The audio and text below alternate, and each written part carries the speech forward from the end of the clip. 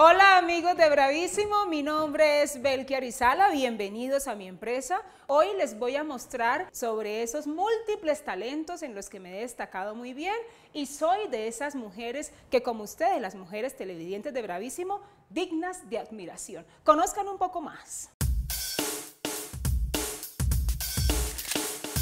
Bueno, Belki Arizala es una mujer talentosa, carismática, orgullosa de pertenecer al grupo étnico afrodescendiente de piel oscura, soñadora con una clara visión de su vida, que nació hace 37 años en San José de Cúcuta.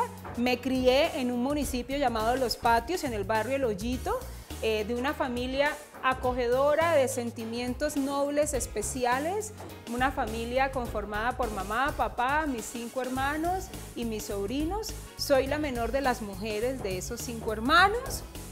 Em, soñaba muchísimo con ser médico, tenía en mi cabeza ser médico y ser pediatra, pero por fortuna no me fue bien en el IFEX y no me alcanzó el puntaje para entrar a estudiar medicina. Y gracias a Dios, porque le tengo pavor a las agujas y a la sangre.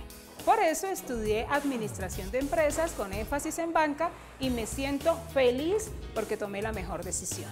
Quiero descubrir quién fue aquel o aquella que me cortó el pelo, porque a raíz de una experiencia, de un paseo con todos mis compañeros de la universidad, un día amanecí calva. No sé qué pasó. Bueno, desconozco las intenciones de mis compañeros, de quien me hizo este corte de pelo, porque imagínense una mujer con pelo largo y con solamente un calvo aquí en esta zona, rarísima, ¿no? Pues así amanecí al otro día del paseo, nadie, nadie contó nada, nadie dio la cara, no, es un misterio todavía en la universidad, pero hoy a mis 37 años les digo gracias. ¡Qué bendición! A raíz de eso llegué a Bogotá, me pasaba el pelo para este lado y me tapaba el calvo, llegaba a las peluquerías y los estilistas les daba como asco arreglarme, como que no sabían por qué una mujer tenía pelo por un lado y por el otro no. Entonces un día llorando de, de depresión me he pasado la máquina en toda la cabeza. Wow, descubrí mi look. Y se me abrieron las puertas en todas las pasarelas nacionales e internacionales con un éxito rotundo. Conozco a Paola Turbay aquí en Bogotá, ella me da la oportunidad de hacer parte de su agencia, en ese entonces se llamaba Class Models, y ella me dice, mujer, tú vas a hacer Miss Colombia. Y yo, ay, voy a hacer Miss Colombia, qué emoción. Me iba a preparar y me iba a conseguir todo, pero ha llamado a la gobernación de ese entonces, a la primera dama, y le ha dicho la señora muy decentemente, no, Belki, no, porque ya no pertenece al concepto racial del departamento. Otra vez el bajón, la autoestima, porque una mujer de raza negra jamás podría representar al norte de Santander. Eso decía la señora, entonces otra vez me deprimí y volví a sentirme eh, mal. Decía, pero si yo me veo bonita, ¿por qué no puedo ser Miss Colombia? Eh, Paola sí me dijo a mí, insiste y tú lo vamos a lograr. Empecé a trabajar en televisión con Pacheco y Amada Rosa Pérez en un programa que se llamaba La Bella y la Bestia. Y bueno, utilizaba postizos y todo. Pero en mi cabeza siempre estaba ser alguien muy importante en el medio. ¿Vale? Me voy para México y en México por cosas de la vida me eligen señorita Colombia por decreto. Y voy a representar a Colombia en un concurso que se llamaba Miss Turismo Universo, quedé de princesa, me quité esa peluca porque me tocaba ir al reinado con peluca y me han elegido para que represente a Colombia en un concurso que se llamaba Model of the World en Egipto.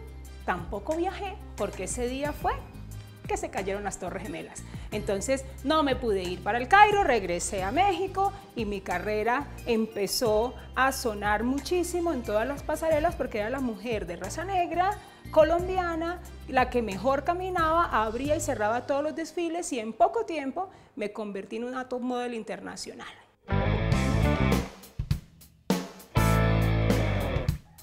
Pero lo que más me gusta y lo que más me apasiona es la comunicación. Así que mi sueño hoy a mis 37 años es convertirme en la Oprah Winfrey colombiana.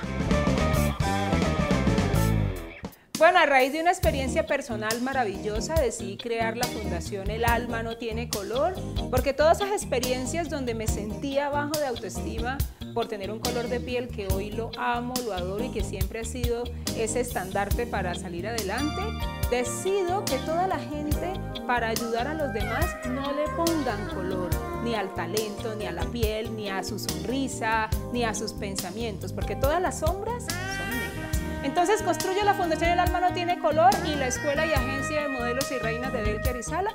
De aquí han salido Valeria Domínguez, eh, Eileen Roca, Sonia Cubide, Yalena Jaco. Me he preparado a muchas mujeres que hoy son dignas de admirar también y es porque les he enseñado una formación basada en valores irrefutables.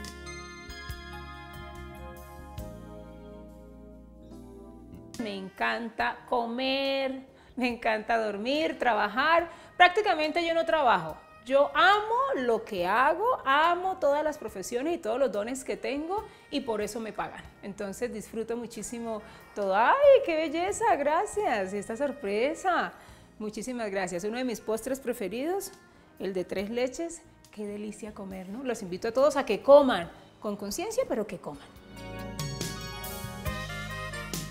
Hola tía, eh, sabes que te amamos demasiado, demasiado.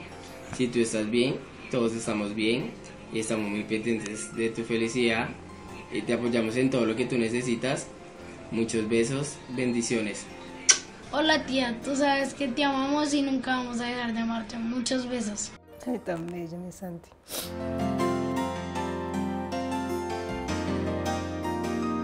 Tengo un amigo muy especial. Casi no me pasa el teléfono porque vive muy ocupado. Ojo, hay que pasar al teléfono, hay que hablar con los amigos. Y es Eduardo Maldonado. Y otros más, pero muy poco los veo. Por eso es que somos tan buenos amigos. Nos conectamos cuando es de serlo. Hola mi Belki, mi Belki hermosa. De verdad que para mí es un placer haber hecho parte de la historia de su vida. Para mí es un placer haber podido construir ese gran ser humano como lo es Belki Arizala. Sabe que la quiero mucho, la adoro con todo mi corazón. He soportado con ella momentos buenos, momentos más buenos momentos excelentes. Eh, tenemos el mismo sentido del humor.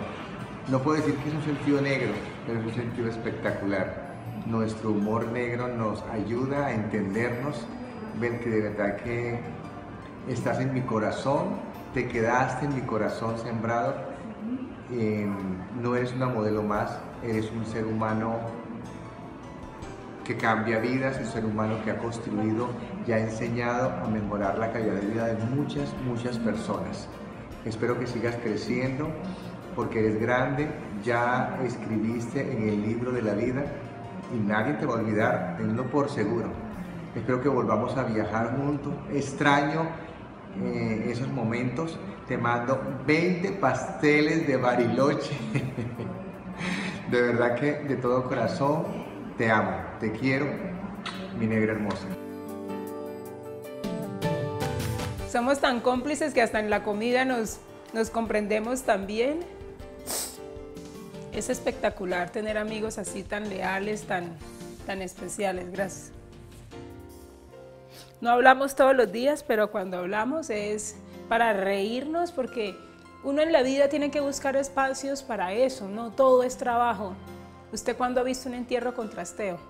Entonces no te llevas nada, solamente te llevas en tu corazón momentos y personas como, como tan valiosas que se han presentado en tu vida por algo. Y me alegra muchísimo esta sorpresa tan bonita. Gracias.